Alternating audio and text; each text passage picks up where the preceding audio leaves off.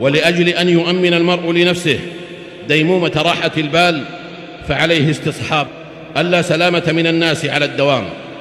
وأنه مهما كان تحرزه منهم وعزلته فالسلامة منهم أعز من الكبريت الأحمر.